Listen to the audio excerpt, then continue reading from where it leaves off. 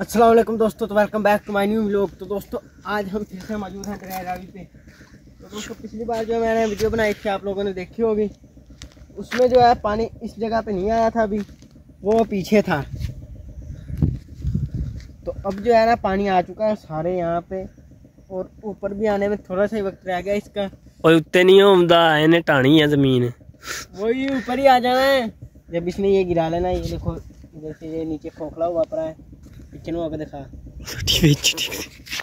तो दोस्तों ये जो है ना गिरने वाला हुआ है। ये देखो ये देखो। नीचे को तो दोस्तों ये जो है ना ऐसे ही पानी नीचे को जाता है फिर सारी ज़मीन अपने अंदर ले लेता है। ऐसे ही सारा गिरता जाता है आहिस्ता आहिस्ता। तो बहुत ज़्यादा करीब आ चुका है। यूँ चेक है? बूटियां सूटियां रो रही ਹੁੰਦਾ ਚੱਕ तो देखो कितनी ज़्यादा आ गई समंदर का पानी आ चुका है इसमें अब पीछे इंडिया वालों ने कालाबाग डैम छोड़ दिया हुआ है और अभी जो है हम आगे चल के देखते हैं कि क्या सूरत हाल है लोगों की फसलें तबाह हो रही हैं बहुत ज़्यादा हम आपको दिखाते हैं आज तो दोस्तों आप हम पहुंच चुके हैं अगली जगह ਤੇ ਜਿੱਦਾਂ ਕਿ ਤੁਹਾਨੂੰ ਦੱਸਿਆ ਸੀ ਕਿ ਫਸਲਾਂ ਲੋਕਾਂ ਦੀਆਂ ਤਬਾਹ ਹੋ ਰਹੀਆਂ ਆ ਦੇਖੋ ਦੋਸਤੋ ਆ ਇੱਥੇ ਲੱਗੇ ਹੋਏ ਸੀਗਾ ਜੰਤਰ मध्यान्ह डाला नाला। इतने पानी तो छोटा छोटा क्योंकि इतने फ़सल सारे हो तिकर ही। थी उस तो अगे पर दरिया रावी आ तो इतने सारिया फ़सल ही है तो मझा डुबिया पी हैं। पानी के गोडे गोडे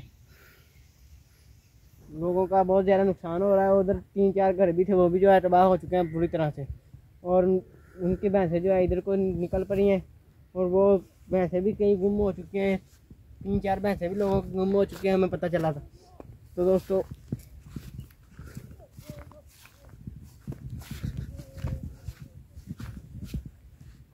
तो दोस्तों, ये देखो सड़क के ऊपर भी सारा पानी आ चुका है बुरी तरह से। तो दोस्तों, ये देखो सड़क के ऊपर भी बहुत ज़्यादा पानी आ चुका है लोगों को। गुजरने भी जो है, बहुत ज़्यादा तकलीफ़ हो रही है। और आगे को पानी जा रहा है, और भी आगे फ़सलें हैं, और आगे बस्ती भी है बहुत बड़ी। वो भी तबाह हो सकती है अगर दरिया पीछे ना गया तो। दोस्तों अब हम चलते हैं आगे।